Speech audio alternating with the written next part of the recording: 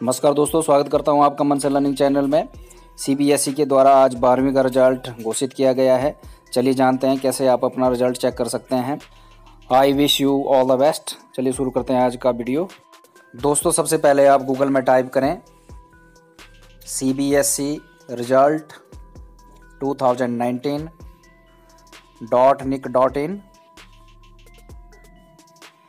या यहाँ लिखा है C B S E result dot nic dot in two thousand nineteen जैसे आप यहाँ क्लिक करेंगे पेज ओपन हो जाएगा।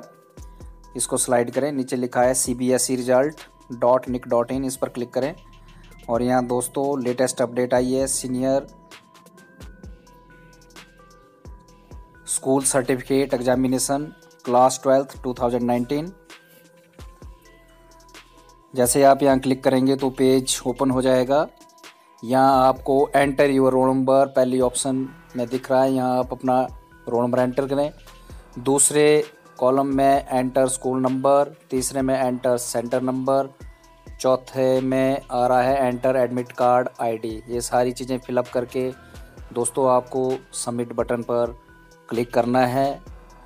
जैसे आप क्लिक करेंगे, आपका रिज़ल्ट ओपन हो जाएगा। तो ये था आज का वीडियो वीडियो पसंद आया हो तो लाइक और शेयर ज़रूर करें।